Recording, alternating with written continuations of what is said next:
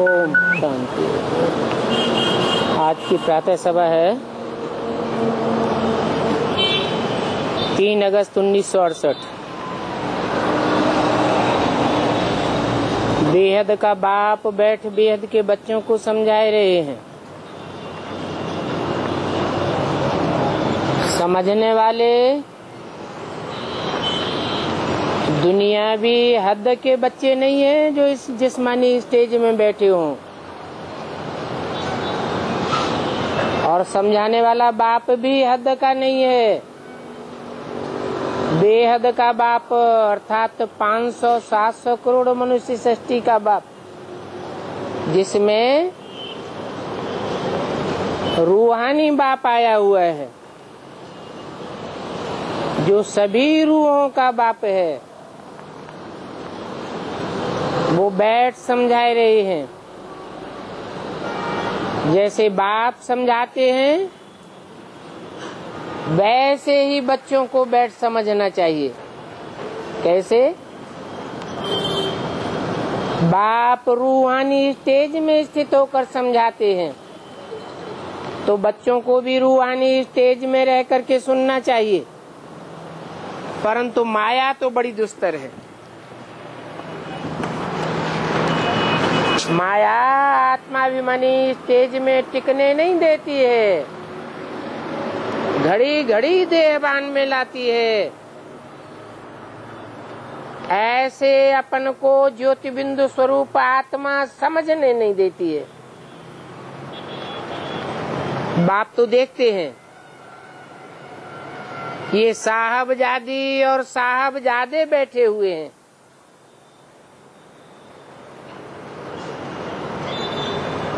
साहब है ना? और वो साहब तो एक ही है। सिख लोग गाते भी हैं, जप साहब को तो सुख मिले।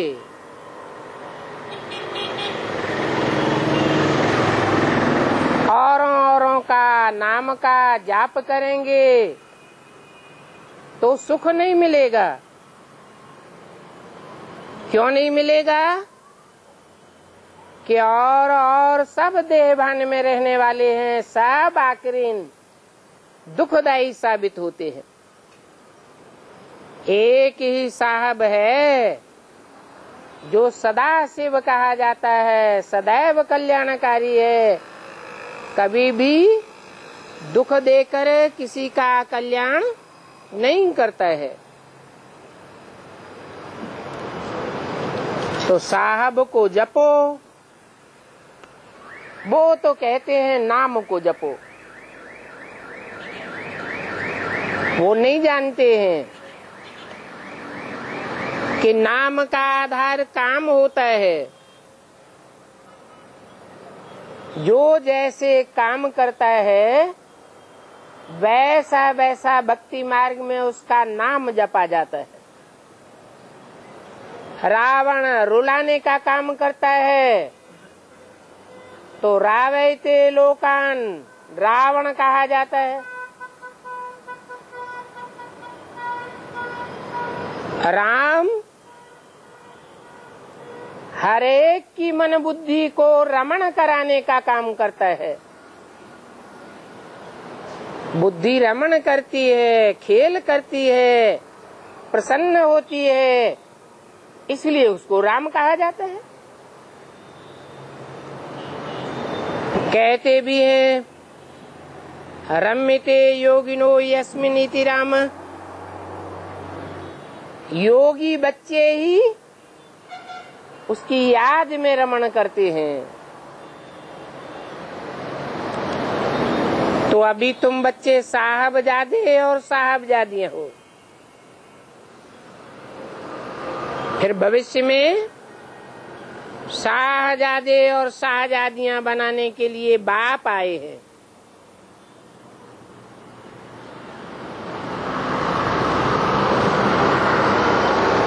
बाप किस लिए आए हैं? शाहजादा बनाने के लिए आए हैं। शाह होगा तो शाहजादा भी होगा। शाहजादे भी हैं, भी होगी। बाप कहते हैं, अपन को साहबजादे अभी समझो। अभी अपन को शाहजादा समझ करके नहीं बैठ जाना है। यहाँ तुम्हारी कोई राजाई स्थापन नहीं हो गई है। तुम ब्राह्मण सेवाधारी हो। सेवाधारियों का काम होता है सेवा करना। सबकी सेवा करने वाले हो। सारी दुनिया की सेवा करने वाले हो। क्योंकि बाप तुम्हारा ओबिडेंट सर्वेंट बन करके आया हुआ है। जो सेवाधारी होते हैं, वो बड़े निर्माण चित्र होते हैं। भक्ति मार्ग में भी कहते हैं, सबते सेवक धर्म कठोरा। सेवक का धर्म सात से ज़्यादा कठोर होता है। मालिक की बातों को भी सुनता है, झड़प को भी सुनता है, और उसकी सेवा भी करता है। तो तुम सेवादारी ब्राह्मण अभी समझो। शाह और शाहजादे नहीं समझना। हाँ साहबजादे हो। फिर तुम भविष्य में प्रिंस और प्रिंसेस बनने वाले हो। यहाँ तुम आए ही हो ये प्रिंस प्रिंसेस बनने के लिए। ये पक्का निश्चय रहे कि हम साहब के बच्चे और बच्चियाँ हैं। ये बात भी याद रहे तो बड़ी खुशी चढ़ी रहे। अपार सुख किस जन्म के लिए मिलने वाले हैं? परंतु कर्म भी फिर ऐसे करने चाहिए। साहब देखते हैं कि इनके कर्म कैसे हैं। जो श्रेष्ठ कर्म करते हैं, वो ही शाहजादे और साहबजादे, शाहजादियाँ बनते हैं। परंतु बाप देखते हैं कि अभी ऐसे कर्म नहीं कर रहे हैं। देह अभिमान में आकर कोई न कोई श्रीमत के विपरीत कर्म कर लेते हैं। तो फिर ऐसे विपरीत कर्म करने वाले शाहजादे और शाहजादियाँ नहीं बन सकेंगे। फिर क्या बनेंगे? फिर जाकर के प्रजा में दास दासियाँ बन पड़ेंगे। अपने अपने कर्मों के अनुसार ही जन्म लेते हैं। बुद्धि में सदैव ये याद रखो कि अभी हम साहबजादे और साहबजादियाँ हैं। फिर हम भविष्य में शाहजादे और शाहजादियाँ बनेंगे। अच्छी तरह से बुद्धि में रखना चाहिए कि हम बैगर टू प्रिंस बनने वाले हैं।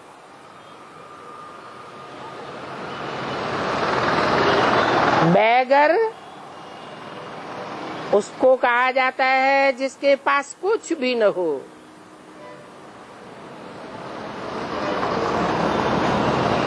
घर भी न हो पद भी न हो, मान, मर्तबा, कुछ भी न हो।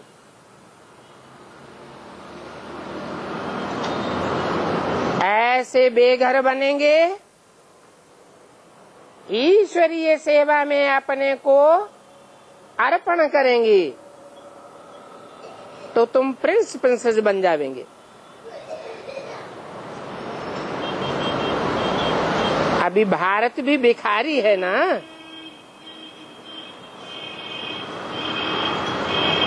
तो जो भारत अभी भिखारी है, वो भविष्य में प्रिंस बनने वाला है।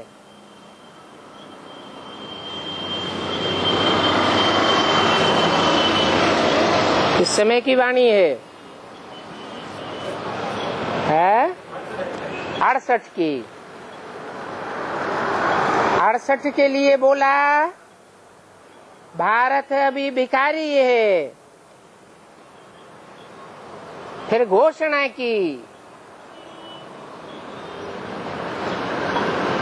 कि Bharat full beggar to full prince बनने वाला है। कब के लिए घोषणा की? है? दस वर्ष की घोषणा की। 66 में कि 10 वर्ष में भारत क्या बन जाएगा? लक्ष्मी नारायण के चित्र में घोषणा दी हुई है ने नीचे।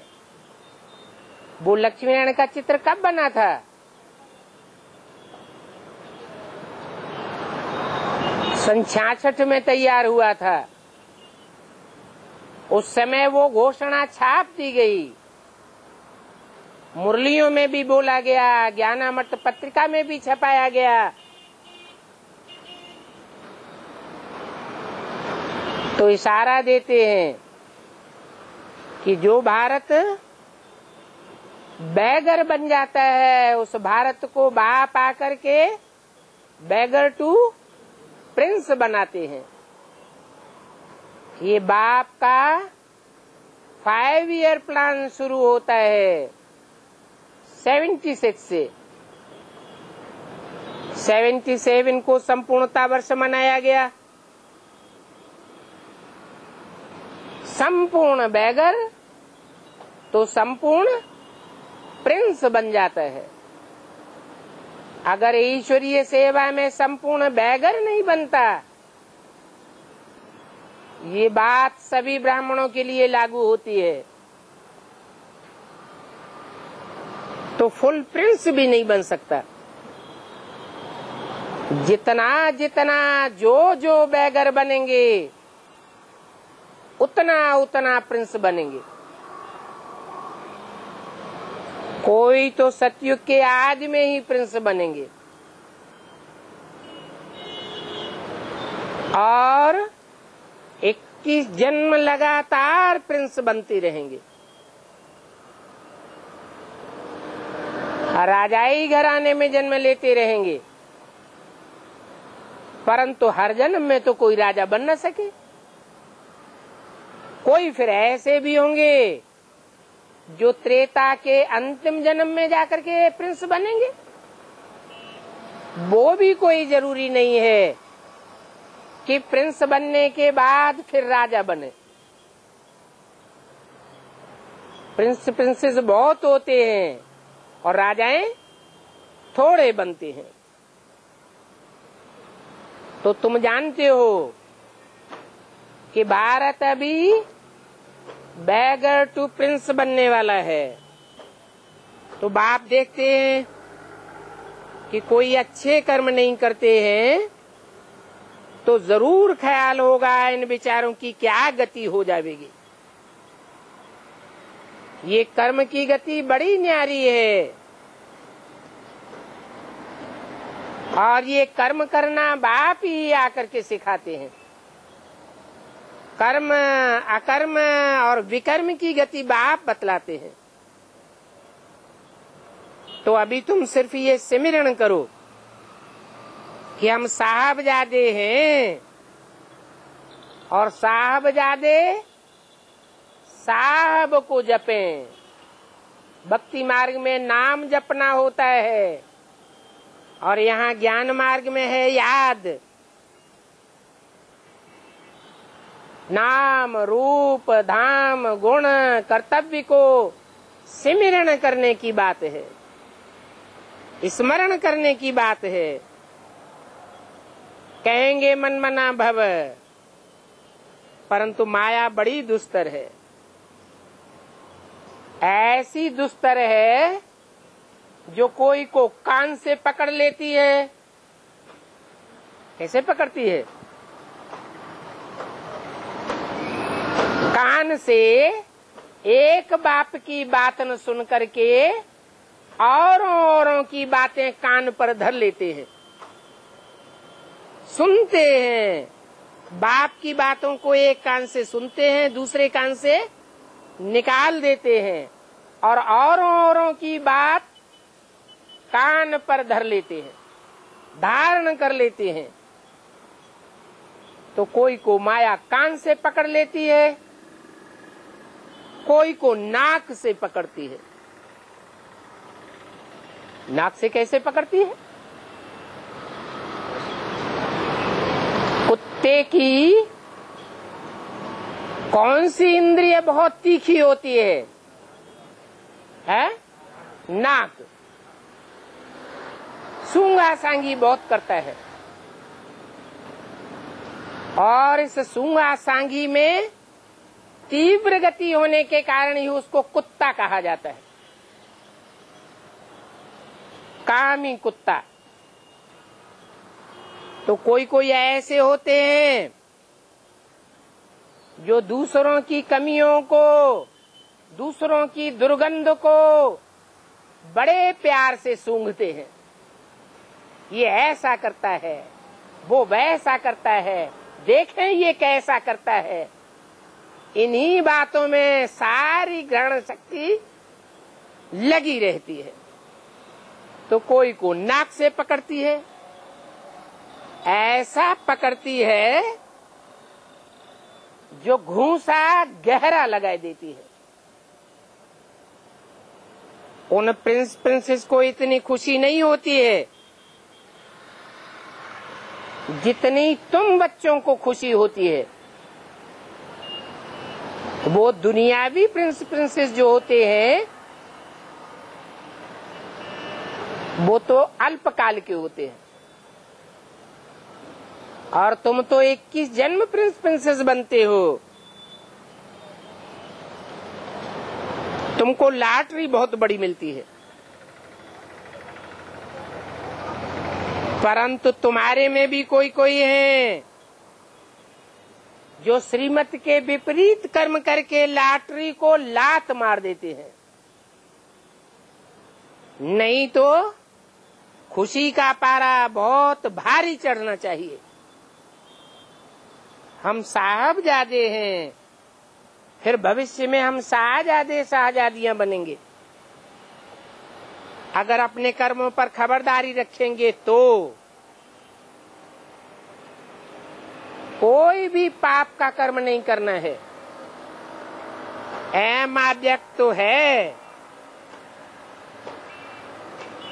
कि हम यह बनने वाले हैं। क्या? यह बनने वाले हैं माने क्या? हम वह बनने वाले हैं जिनके ऊपर कोई भी दुनिया में उंगली नहीं उठा सका। तैतीस करोड़ देवताओं के ऊपर उंगली उठाई गई है। सब देवताओं की ग्लानी की गई है। ब्रह्मा की ग्लानी की गई, शंकर की ग्लानी की गई, परंतु लक्ष्मी नारायण की कोई ग्लानी नहीं हुई है। तो बुद्धि में सदैव ये रहना चाहिए एम ऑब्जेक्ट कि हम यह लक्ष्मी नारायण बनने वाले हैं। जिन्होंने ऐसा कोई ग्लानी का काम नहीं किया, जो कोई इनके ऊपर उंगली उठा सके। परमपिता परमात्मा है, नई दुनिया रचने वाला। तो हम बच्चे भी ज़रूर नई दुनिया के मालिक होने चाहिए। ये तो बहुत सहज बात है। परंतु पत्थर बुद्धि होने के कारण इतनी सहज बात के ऊपर भी बुद्धि टिकाए नहीं सकते हैं। कहा न कहा बुद्धि भटक जाती है। बुद्धि को पक्का पक्का ठिकाना मिलता ही नहीं। नहीं तो समझना चाहिए। हम उनके बच्चे हैं, जिनके साथ हमें ऊंचते ऊँचे धाम में वापस जाना है। ये तो दुनिया बहुत नीची है, बहुत गंदी दुनिया है। और हमको जाना कहाँ है? हमको जाना है ऊंचते ऊंच पवित्र धाम में। तो ऐसा ऊंचते ऊंच जाने के लिए बाप हमको बहुत हल्का बनाते हैं। फूल कितना हल्का होता है। फूल समान हमारी बुद्धि बन जाती है। बड़े से बड़ा फूल बनाते हैं। किसको? जो कांटे जैसे होते हैं, उनको फूल बनाते हैं। बड़े से बड़े फूल का नाम क्या है? कमल का फूल। कमल के फूल के समान हमारी प्रैक्टिकल ज़िंदगी बनाए देते हैं। माया फिर नाक से पकड़ लेती है। जब माया नाक से पकड़ती है तो पूरा ही कांटा बनाई देती है। छोड़ती ही नहीं है। तो देखो, ये तुम बच्चों का युद्ध का मैदान है। तुम्हारी माया के साथ युद्ध है। तुम देही अभिमानी हो तो बाप को याद करते हो। और देह अभिमानी बन पड़ते हो। तो माया पकड़ लेती है। तो आत्मा अभिमानी बनने का पुरुषार्थ करते रहो। प्रैक्टिस करते रहो। सोचना चाहिए हम क्या बनने के लिए आए हैं। ये खुशी रहनी चाहिए कि हम साहबजादे और साहब साहबजादियाँ हैं। ऐसा साहबजादा और साहबजादा, साहबजादी दुनिया में और कोई हो नहीं सकता।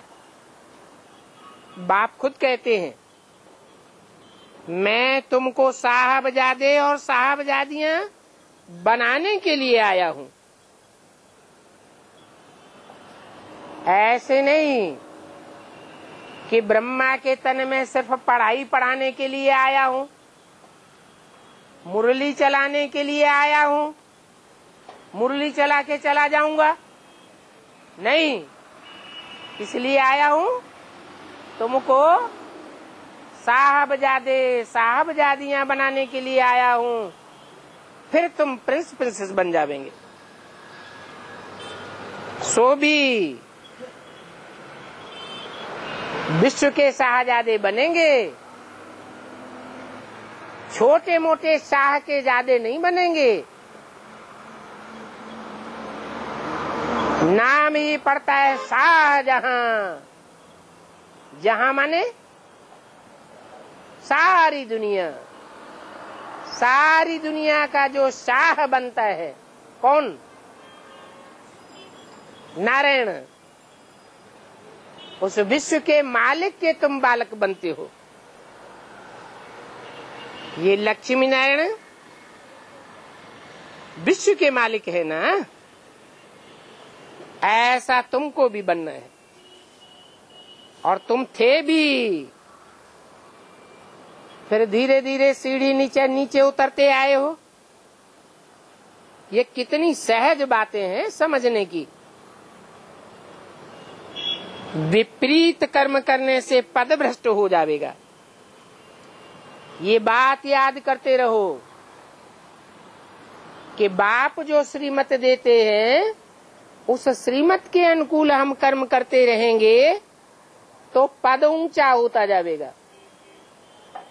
माया की मत पर या प्रभाव में आकर के विपरीत कर्म करेंगे तो पद भ्रष्ट हो जाएगा। कोई भी विकर्म न करो। ये समझना तो बहुत सहज बात है। बाप कहते हैं, अति सहज रीत में तुमको बैगर से प्रिंस बनाता हूँ। इस समय तुम बाप के बच्चे हो। बाप गरीब निवाज बन करके आया हुआ है। साहूकारों को बैगर टू प्रिंस नहीं बनाता है। जो गरीब होते हैं, बेघर होते हैं, ऐसे बेगर्स को मैं प्रिंस बनाता हूँ। तुम्हारे दिल में ये बात है कि हम ना नर से नारायण बनने आए हैं। तो ज़रूर पहले साहबजादे और साहबजादियाँ बनना पड़े। फिर ये शाहजादे और शाहजादियाँ बनेंगे। तुम्हारा एम ऑब्जेक्ट भी ये है। तो बुद्धि में रहना चाहिए कि हम पाई पैसे की प्रजा बनने के लिए यहाँ नहीं आए हैं। प्रजा वो बनते हैं जो औरों औरों से प्रभावित होते रहते हैं। प्रभावित माना ही प्रजा। हम तो सिर्फ़ बाप की बातों से प्रभावित होते हैं। बाप के अलावा और कोई की बातों का हमारे ऊपर कोई प्रभाव नहीं पड़ता है। अगर औरों की बातों से प्रभावित होते रहेंगे तो हम राजा नहीं बनेंगे। क्यों? क्योंकि राजा बनाने वाला, राजयोग सिखाने वाला एक ही बाप है। और दुनिया में ऊँचे से ऊँचा कोई भी धर्म पिता कोई भी महात्मा, कोई भी धर्मात्मा ऐसा नहीं हुआ है जिसने राजाई सिखाई हो। सब दास दासी बनाते हैं, अपने अंडर में चलाते हैं। बाप तो कहते हैं, मैं तुम्हारा ओबिडेंट सर्वेंट बन करके आया हुआ हूँ। और तुमको राजा महाराजा बना के जाता हूँ। मैं तो नहीं बनता हूँ। ऐसा निष्कामी और दुनिया में कोई भी हो ही नहीं सकता। फिर भी बाबा देखते हैं कि बच्चों की अवस्था ऐसी है, चलन ऐसी है कि माया अच्छी रीत से नाक कान से पकड़ लेती है। और नंबर बार पुरुषार्थ अनुसार पकड़ती है। बाबा कोई सभी बच्चों के लिए एक ही बात नहीं कहते हैं। क्योंकि सब बच्चे एक जैसे पुरुषार्थी नहीं हैं। बाप जानते हैं। मैं तो कल्प कल्प आता हूँ यह लक्ष्मी नारायण जैसा बनाने के लिए। वो बेहद का बाप सभी का फादर है। और हम सभी ब्रदर्स हैं। तो ज़रूर हम साहबजादे और साहबजादियाँ हैं। बाप द्वारा हम शाहजादे शाहजादियाँ बनेंगे और कल्प कल्प बनते रहेंगे। कितना सहज है, परंतु माया इतनी सहज बात के ऊपर भी निश्चय पक्का नहीं होने देती। ये युद्ध का मैदान तो अंत तक चलेगा। जब तक विनाश हो और जब तक तुम माया पर जीत पहनो, तब तक ये युद्ध चलता ही रहेगा। इस समय तुम्हारा मर्तबा बहुत ऊँचा है। इस समय माने? इस पुरुषोत्तम संगम युग में तुम्हारा मर्तबा जितना ऊँचा बनता है, उतना ऊँचा मर्तबा और दुनिया में किसी भी जन्म में नहीं बनता। जैसे आसमान के सितारे होते हैं, कितनी ऊंचाई पर चमकते हैं। वो हैं आसमान के सितारे। और तुम बनते हो धरती के सितारे, जो विनाश के टाइम पर, महाविनाश के समय सारी दुनिया के बीच सबकी आँखों में इतने ऊँचे होकर के चमकते हो। तुम्हारी चमक ज्ञान की चमक है, ज्ञान की लाइट मारते हो। सारी दुनिया तुमको बहुत ऊंच समझती है। तो अपनी ऊंचाई को कब भूलना नहीं चाहिए? बाबा बताते हैं कि अभी तो इस दुनिया में ऊँचे ऊँचे धंधे करने वालों का मर्तबा बहुत है। ऊँचे ऊँचे पदमान मर्तबा, कुर्सियों पर बैठने वालों का मर्तबा बहुत है। धंधा धोरी वालों का मर्तबा बहुत है, पैसे वालों का मर्तबा बहुत है। लेकिन अभी थोड़े समय में ही ऐसा टाइम आने वाला है कि सब धंधों में होगा नुकसान। सब धंधे चौपट हो जाएँगे। एक ईश्वरीय धंधा संसार में इतना तीव्र गति से चलेगा जो सबको आश्चर्य हो जाएगा। और कोई भी धंधा अब चलने वाला नहीं है। देखने में भी आता है। कि और और धंधे चौपट होते जा रहे हैं। खास भारत में तो ऐसा हो रहा है। बाबा ऐसे नहीं कहते हैं, अपने घर ग्रस्त में न रहो। घर ग्रस्त में भले रहो, लेकिन मन मना भव होकर के रहो। अपने बाप को याद करते रहेंगे तो तुम नर से नारायण बन जावेंगे। तीन अगस्त अड़सठ की वाणी का दूसरा पेज और बाप को याद करना, ये कोई कठिन है क्या? ये सभी को समझाते रहो कि ईश्वर, हम सभी आत्माओं का बाप है।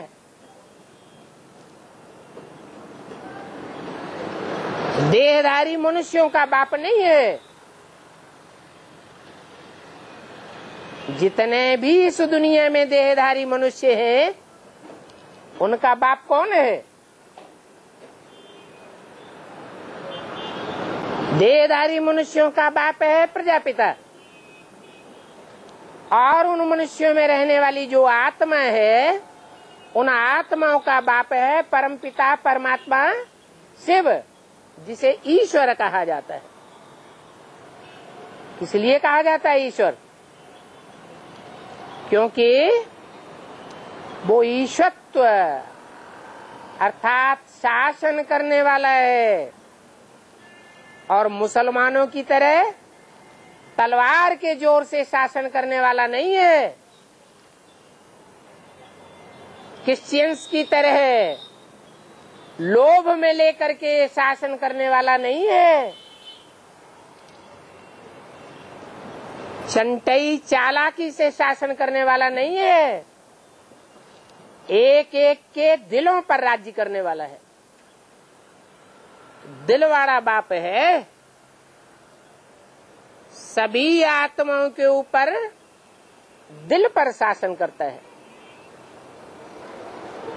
तो शासन करने वालों में वर अर्थात श्रेष्ठ कहा जाता है। और हम उसी बाप के बच्चे हैं। तो ज़रूर हम विश्व के मालिक होने चाहिए। वो एक ही बाप है जो नई दुनिया रचने वाला है। प्यार का सागर कहा जाता है। इसलिए नई दुनिया रचने वाला है। सारे विश्व के ऊपर शासन करने वाला है और सारे विश्व का मालिक बनाने वाला है। नहीं तो ज़ोर ज़बरदस्ती से दुनिया में कोई भी हिटलर, नेपोलियन अथवा कोई भी शेक्सपियर शासन नहीं कर सका है, क्योंकि उन्होंने हिंसा के आधार पर शासन करना चाहा।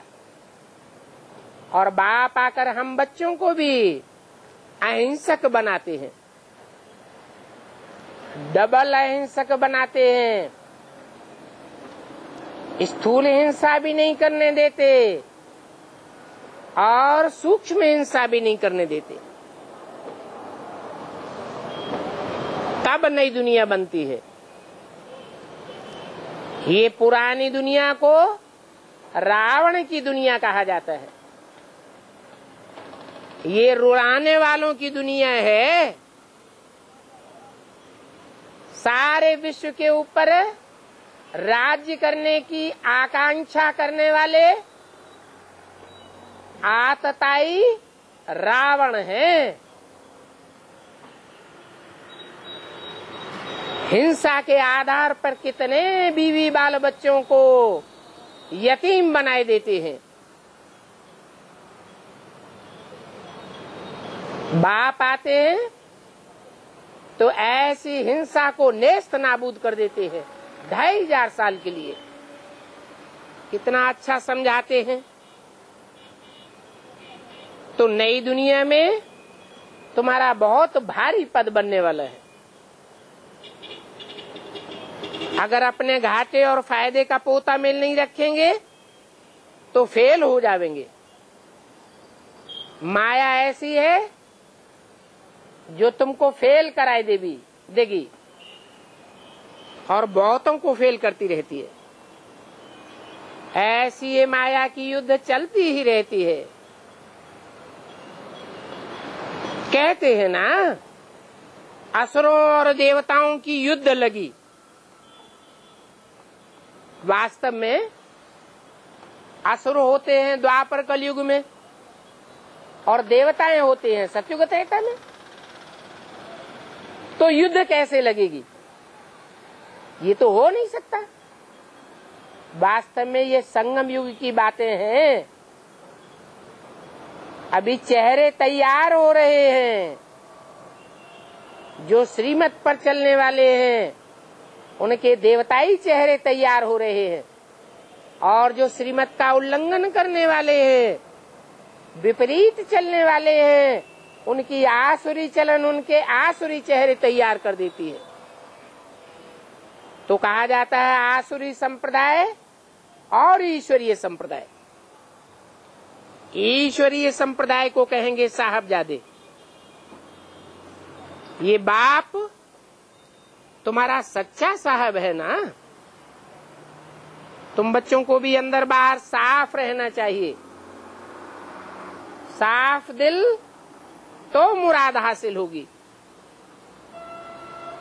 दुर्बुद्धि नहीं बननी चाहिए। कुबुद्धि बनने से पदमान मर्तबा नई दुनिया में नष्ट हो जाएगा। अभी तुम्हारा सदैव खुशी का पारा चढ़ा रहना चाहिए। फखुर में रहो, हम किसके बच्चे हैं? बाप जब समझाते हैं, तब तो नशा चढ़ता है। फिर जब बाहर की दुनिया में जाते हैं तो भूल जाते हैं। जैसे कोई शराबी होते हैं, शराबी भी जब शराब पीते हैं तो उनका नशा बहुत चढ़ जाता है। तुम्हारा भी ऐसे होता है।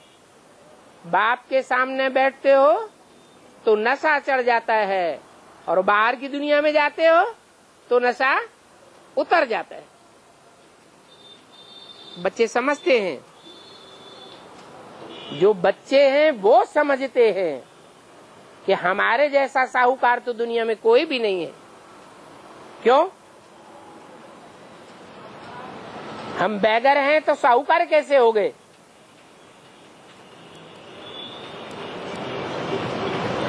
बैगर हैं, दुनियावी धन के हिसाब से। जो दुनियावी धन आज है और कल नहीं रहेगा। और धनवान किस हिसाब से हैं?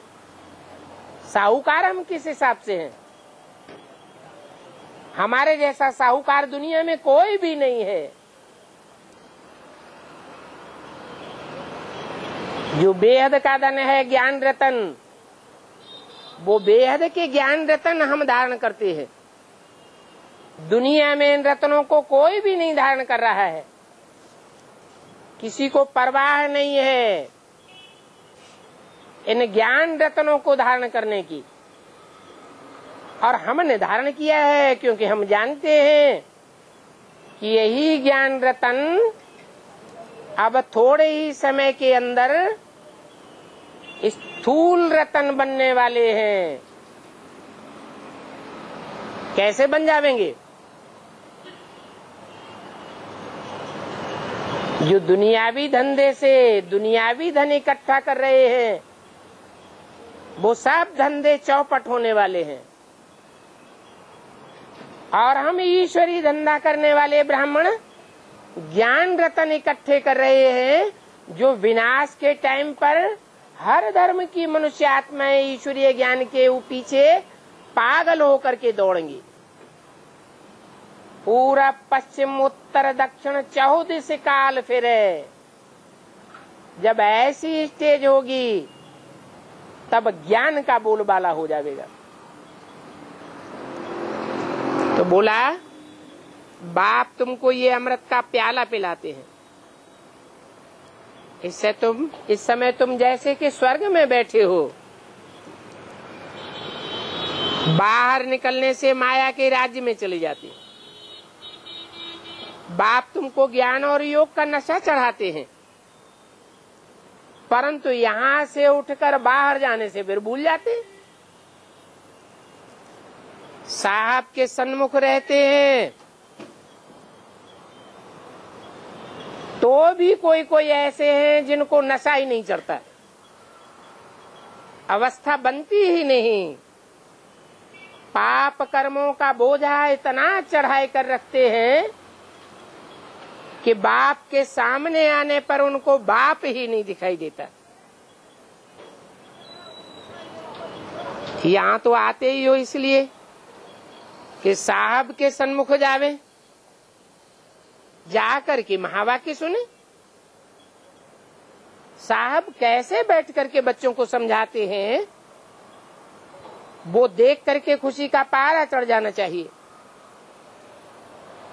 बाहर में जाते हैं तो मित्र संबंधी आदि का संग ऐसा लगता है, जैसे कि आसुरों के संग में चले जाते हैं। तो समझना चाहिए तुम साहबजादों के अंदर कितनी फजीलत होनी चाहिए? कितनी दिल में सफ़ाई होनी चाहिए? अगर साफ़ दिल होकर के नहीं रहेंगे तो मुफ़्त में सजा खावेंगे। और जितनी जास्ती सजा खावेंगे, उतना पदभ्रष्ट हो जाएगा बाप अंदर में देख बड़ा हर्षित होते हैं। ये साहब ज़्यादा बच्चे आए हैं। राम सीता तो सेकंड ग्रेड में है। तुमको उनके राज्य में थोड़े ही जाना चाहिए। है?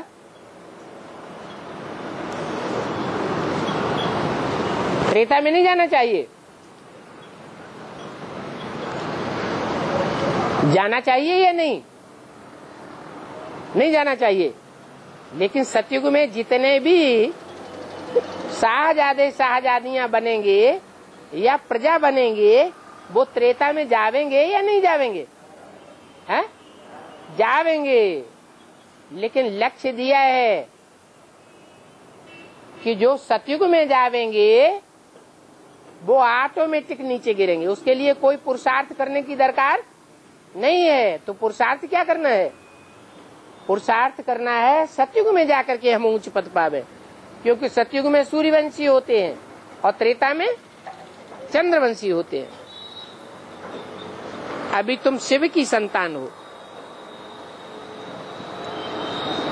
और सतयुग में तुम दैवी संतान बनेंगे। तो ग्रेड ऊँचा होगा या नीचा हो जाएगा है? सतयुग में दैवी संतान देवताओं की संतान होंगे। और अभी तुम शिव की संतान बनते हो। तो कौन सा ग्रेड ऊँचा है? शिव की संतान है ब्राह्मण। और ब्राह्मण होते हैं चोटी के। तो ऊँची से ऊँची स्टेज तुम्हारी अभी है। तुम सूर्यवंशी शाहजादे बनते हो। डायरेक्ट ज्ञान सूर्य तुम्हारे ऊपर सरपरस्त है। अभी तुम नंबरवार महारथी हो। घोड़े सवार, प्यादे भी हैं। महारथियों को ज़रूर ऐसी अवस्था होनी चाहिए। जैसे कि बाप समझाते हैं। शाहजादों को कितनी खुशी होनी चाहिए कि बाप द्वारा हम भविष्य के लिए कितना ऊंच पद पाते हैं। अभी तुम शिव की संतान, फिर दैवी संतान तो यहाँ की रॉयल्टी तुम्हारी फिर वहाँ भी चलती रहेगी। वहाँ तुम ऊंचते हो तो पैराडाइज के मालिक बनते हो। बाप ही आकर के पत्थर बुद्धि से तुमको पारस बुद्धि बनाते हैं। तुम बच्चे बाप से प्रतिज्ञा करते हो। बाबा, हम ज़रूर स्वर्ग के शाहजादे शाहजादियाँ बनेंगे। हम सेकंड थर्ड क्लास के नहीं बनेंगे। त्रेता को भी सेकंड क्लास कहेंगे। परंतु बाबा तुम्हारी चलन देखते हैं तो बंडर लगता है। तब सोचते हैं कि अहो माया, तुम कितनी ज़बरदस्त हो। अच्छे अच्छे फ़र्स्ट क्लास बच्चों को तुम नाक से पकड़ लेती हो। जैसी जैसी अवस्था है ऐसी ऐसी उनको माया लग जाती है। रुस्तम से माया भी रुस्तम होकर के लड़ती है। बच्चे आते हैं, समझते हैं, हम साहब के सन्मुख जावे तो भविष्य नई दुनिया के शाहजादे बनेंगे। तुम पढ़ते ही हो नई दुनिया के लिए। और ऐसा ही कोई पाठशाला नहीं है, जहाँ तुम ऐसी पढ़ाई पढ़ते हो। तुम अमरपुरी शिवालय के लिए पढ़ते हो। अभी तुम पुरुषोत्तम संगम युग पर हो। ये युग कल्याणकारी युग है। तुम बच्चे भी कल्याणकारी पार्ट बजाने वाले हो। कई बच्चे अपना कल्याण करने के बदले अकल्याण करके नीचे गिर पड़ते हैं। परंतु एक बाप फिर भी उनको अपना शाहजादा कहलाते हैं बार बार बुलाते हैं। कहते हैं, बच्चे, स्वर्ग में तो तुम ज़रूर आवेंगे। क्योंकि एक बार भी बाप के सन्मुख आए तो स्वर्ग में ज़रूर आवेंगे। एक दिन आया, कुछ समझा, आकर के दिल से एक बार बाबा कहा तो भी वो स्वर्ग में आ जावेंगे। हर एक अपने दिल से पूछे हम कहाँ तक अपनी दिल साफ़ करके बाप के साथ बैठे हैं? नहीं तो अपने ऊपर तरस खाना चाहिए। बाबा तो फिर भी बच्चों के लिए रहम दिल है। जब बच्चे भी अपन पर रहम करें तब ना। बाप तो श्रीमत देंगे। कहेंगे, तुम ये भूलें बार बार क्यों करते हो? घर में रहते हुए भी तुम समझ सकते हो। साहब के बच्चे होंगे तो विकारी काम नहीं कर सकते हो। बाप कर्म अकर्म विकर्म पर कितना समझाते हैं। तुम्हें भी पुरुषोत्तम संगम युग पर हो। कलयुगी मनुष्य जो कर्म करते हैं, वो तो सभी पाप कर्म करते हैं। क्यों? पुण्य कर्म नहीं करते? क्योंकि उनको कर्म की गति का पता ही नहीं है। कर्म क्या होता है और विपरीत कर्म क्या होता है? पाप क्या होता है, पुण्य क्या होता है? दुनिया ये बात जानती ही नहीं। बाप आकर के बतलाते हैं कि मैं जो रास्ता बताता हूँ उस रास्ते पर चलने वाले पुण्य आत्मा बनते हैं। और मैं जो रास्ता बताता हूँ, उसके विपरीत चलने वाले पाप आत्मा बन पड़ते हैं।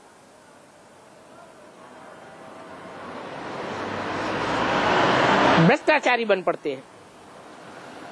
भ्रष्टाचारी मनुष्य कैसे कर्म करेंगे? भ्रष्टाचारी मनुष्य भ्रष्ट आचरण करने वाले कर्म ही करेंगे। श्रेष्ठाचारी देवताएँ श्रेष्ठ कर्म ही करते हैं। परंतु श्रेष्ठ कर्म तुम अभी संगम युग पर करते हो। सत्युग में जब तुम देवता बनेंगे तो चाहे श्रेष्ठ कर्म करेंगे तो भी उन कर्मों का कोई प्रभाव नहीं होगा। कर्म अकर्म हो जाएगा। एक तो तुम विकारी बनते हो। दूसरे फिर मेरी ग्लानी करते हो। तो ये डबल पाप का बोझा चढ़ जाता है। विकारी कर्म करने वाले की बुद्धि विकृत हो जाती है। और जब बुद्धि विकारी बन जाती है तो वाचा भी विकारी बन जाती है। कर्म इंद्रियाँ तो विकारी कर्म करती ही है, परंतु वाचा विकारी होने से बाप की ग्लानी करने का लग पड़ते हैं। तो कितना अपकार करते आए हो, ड्रामा अनुसार। और कितनी कच्ची कच्ची गाली बाप को तुमने दी है? देवताओं को भी गालियाँ देते हो? इसके लिए कहा जाता है, यदा यदा ही धर्मस्य जब जब धर्म की ग्लानी हुई है तब तब मैं आता हूँ। और धर्म की ग्लानी होती ही है कलयुग के अंदर। जबकि तुम बाप को पहचान करके बाप को भूल जाते हो। औरों औरों की बातें सुनने लग पड़ते हो। बाप की बातों पर ध्यान नहीं देते। तो ऐसे विकर्म हो पड़ते हैं। बाप का बन करके फिर विकर्म करेंगे। तो तुम्हारा सौ गुना दंड बढ़ता जाएगा। फिर उन्नति नहीं हो सकेगी। और बुद्धि ऐसी बतित बन जाएगी जो तुम्हें याद भी एक्यूरेट नहीं कर सकेंगे। माया याद करने नहीं देती है। माया खुद समझती है। ये पुण्य करने के लायक नहीं है। क्रिमिनल ख्यालात देख करके माया भी अटैक करती है। बच्चों ने देखा होगा, जिनको बहुत टेंशन रहता है, उन टेंशन करने वालों में ही भूत प्रेत प्रवेश कर जाते हैं। ये भूत प्रेतानी आत्माएँ भी माया का रूप है। तीन अगस्त अड़सठ की वाणी का तीसरा पेज। तो जो लायक नहीं है, नालायक हैं, उनको कहेंगे आसुरी रावण संप्रदाय। ये तो कहते भी हैं राक्षस राज्य है। बाकी ऐसे नहीं है कि कोई असुरों और देवताओं की युद्ध हुई। नहीं जो देवता बनने वाली आत्माएँ हैं और जो द्वापर कलयुग में परम धाम से उतरकर बार बार असुर बनते हैं और देवताओं को अपने प्रभाव में ले लेते हैं कन्वर्ट कर लेते हैं। ऐसे असुर संगम युग में बाप के सन्मुख आकर के पार्ट जब बजाते हैं, तब उनकी युद्ध चलती है। जो माया भी है, वो माया की ओर लेते हैं, रावण का पक्ष लेते हैं, और जो राम संप्रदाय के हैं, देवता बनने वाले हैं, वो राम का पक्ष लेते हैं। तो इस समय की युद्ध की बात है। इस समय कोई तो वाइब्रेशन बनाते हैं। कोई वाइब्रेशन को बिगाड़ते हैं। कोई विभिचारी वाइब्रेशन बनाते हैं। कोई अव्यभिचारी बनाते हैं। कोई बाप के ऊपर निश्चय बिठाते हैं और कोई बाप के ऊपर निश्चय उखाड़ देते हैं। कोई थमाने वाले हैं, कोई भगाने वाले हैं। माया है भगाने वाली। और तुम बच्चे हो थमाने वाले। तो ये आसुरों की और देवताओं की युद्ध है। देवताएँ होते हैं नई दुनिया के और असुर कलयुग पुरानी दुनिया के। क्या? असुरों का राज्य होता है कलयुग की पुरानी दुनिया में और देवात्माओं का राज्य होता है नई दुनिया में। तो समझ सकते हो उनकी लड़ाई फिर कैसे होती है? उन्होंने तो भक्ति मार्ग में सतयुग त्रेता श्रेष्ठ युगों में भी लड़ाई दिखाई दी है। द्वापर में महाभारत युद्ध दिखाई दिया है। लेकिन वास्तव में ये लड़ाई कहाँ की यादगार है? अभी संगम युग में देवात्में और असुरों का पक्ष लेने वाली आत्में दोनों इकट्ठी होती है। तो देखो शास्त्रों में कितना किचड़ा भर दिया है। और और सभी धर्मों के शास्त्र फिर भी ठीक हैं।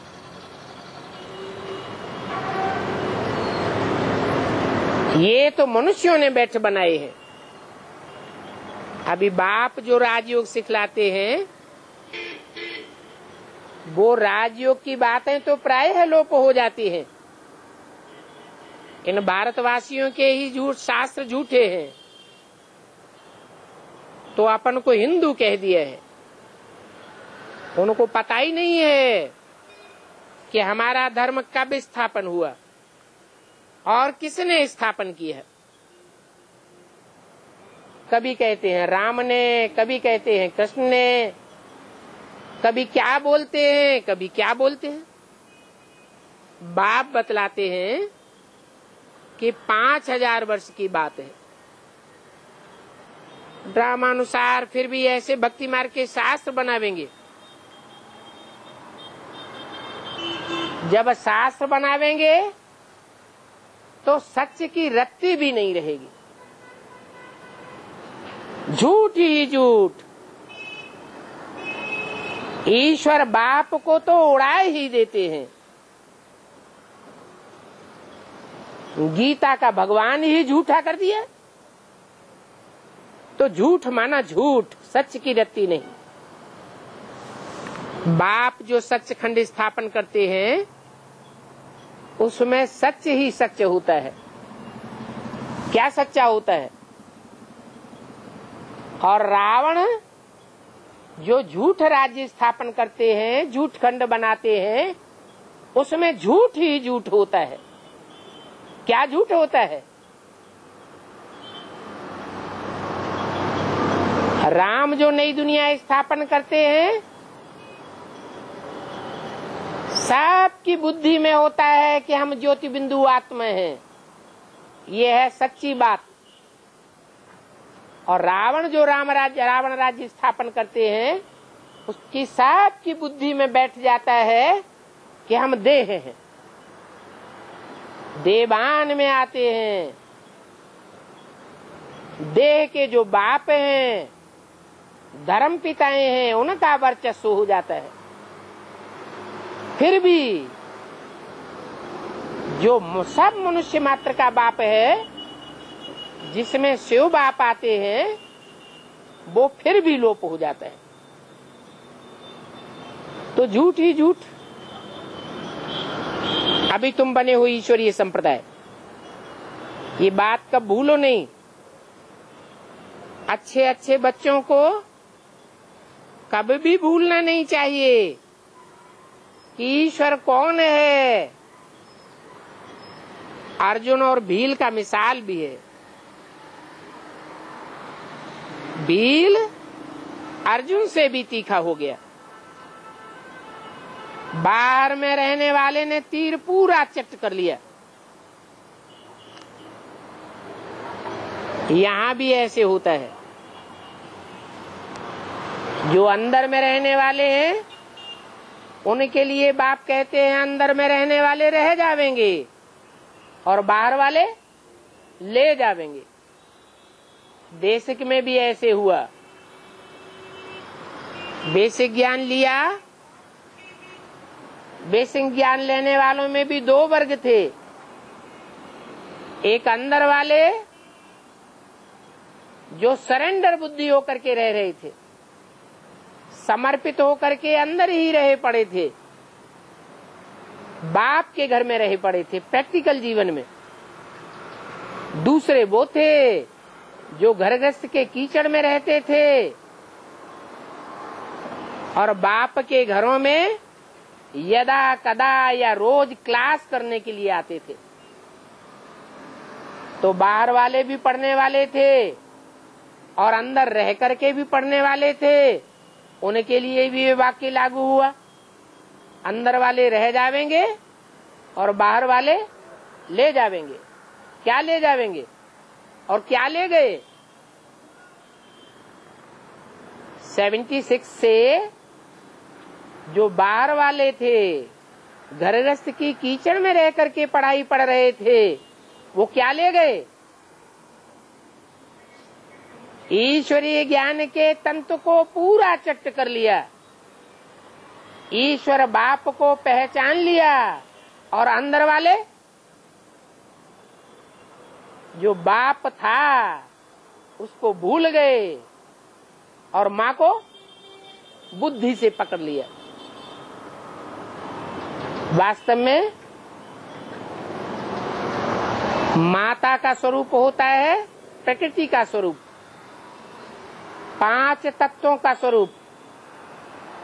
और बाप होता है बीज। अगर बाप को नहीं पहचाना तो कुछ भी नहीं पहचाना। अभी भी एडवांस में ऐसा ही होने वाला है।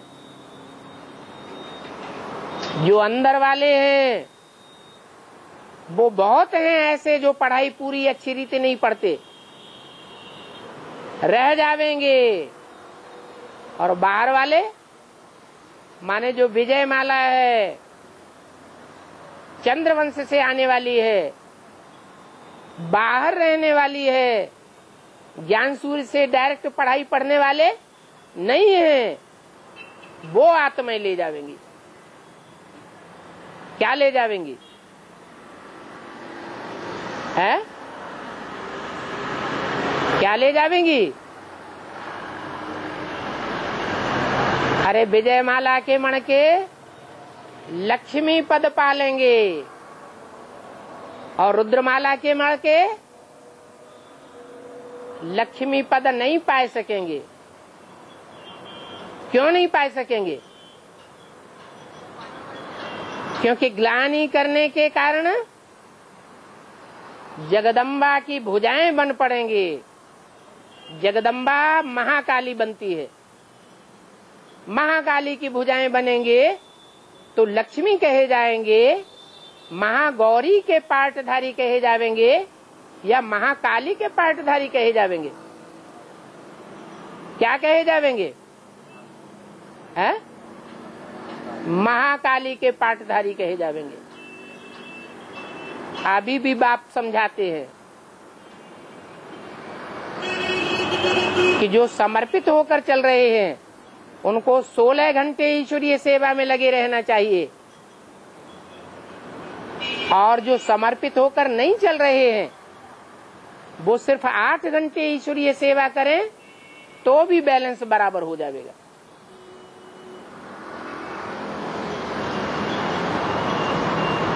तो बोला बाहर में रहने वालों ने पूरा तीर चट्ट कर लिया।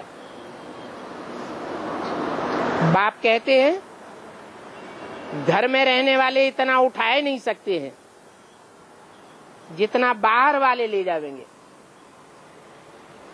अब बाहर वाले किसको कहा? जो उठा ले जावेंगे?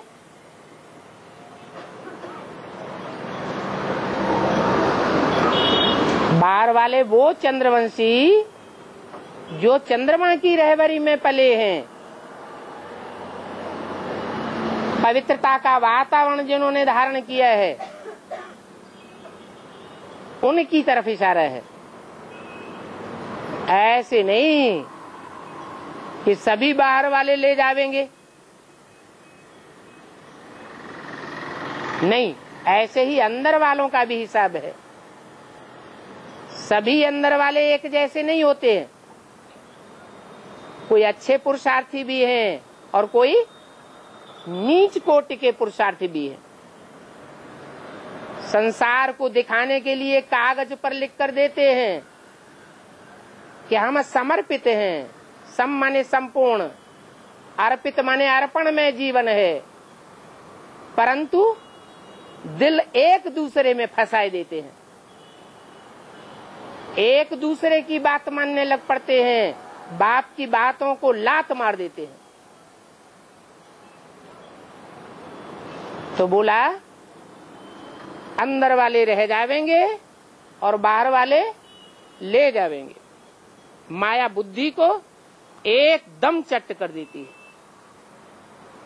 अभी बाप कहते हैं कि मैं आया हुआ हूँ। ऐसे नहीं कि आकर के चला गया। ब्रह्मा के तन में आया, मुरली चला के चला गया। नहीं। शिव बाबा आया है, तब तो जयंती यादगार मनाते हैं। बाप कहते हैं, मेरा जन्म अलौकिक है। इस लोक में जैसा जन्म माना जाता है। वैसा मेरा जन्म नहीं है। मना, लोक में तो बच्चा पहले गर्भ में रहता है, गुप्त होता है, फिर बाहर में प्रत्यक्ष होता है। वो तो हद की बात हो गई। उसको जन्मदिन मनाना कहते हैं। लेकिन ये है बेहद का जन्म। कैसे? बाप पहले गुप्त होकर के पार्ट बजाते हैं। ऐसा गुप्त पार्ट बजाते हैं कि कोई को भी पता नहीं चलता, पक्का निश्चय नहीं होता कि बाप आया हुआ है। आज निश्चय करते हैं, कल निश्चय उखड़ जाता है। तो निश्चय बुद्धि जीने वाला कहें या घड़ी घड़ी मरने वाला कहें? क्या कहें? घड़ी घड़ी जीते हैं घड़ी घड़ी मरते हैं। तो मृत्यु लोक में है या अमरलोक में है, है? मृत्यु लोक में है। फिर ऐसा भी टाइम आता है कि एक एक बच्चा अमरनाथ का अमर बच्चा कहा जाता है। निश्चय बुद्धि बन जाते हैं पक्के। दुनिया हिलाना चाहे तो भी हिलते नहीं। ऐसे अमरनाथ के जो बच्चे बनते हैं, वो फिर कहते हैं, निश्चय बुद्धि विजय थे विजयी बन जाते हैं। नई दुनिया का जो सुख है, वो प्राप्त करते हैं। तो मेरा जन्म अलौकिक है तो बच्चों का जन्म भी अलौकिक है। बच्चे भी संसार में प्रत्यक्ष हो जाते हैं। चौरासी जन्मों में जो श्रेष्ठ से श्रेष्ठ जन्म है, जो शास्त्रों में बहुत प्रसिद्ध है, वो हर बच्चे का वो जन्म प्रत्यक्ष हो जाता है। हर बच्चा पहचानता है कि मेरा ये पार्ट है। दूसरी आत्माएँ भी पहचानती हैं कि इसका ये पार्ट है। इसको कहेंगे अलौकिक जन्म। तो किसका अलौकिक जन्म है? किसका लौकिक जन्म है? तुम बच्चों के सिवाय और तो किसी का अलौकिक जन्म हो ही नहीं सकता। तुम बच्चे माना? जो बाप को पहचानते हैं उनका अलौकिक जन्म जो नहीं पहचानते हैं उनका लौकिक जन्म। ओम शांति।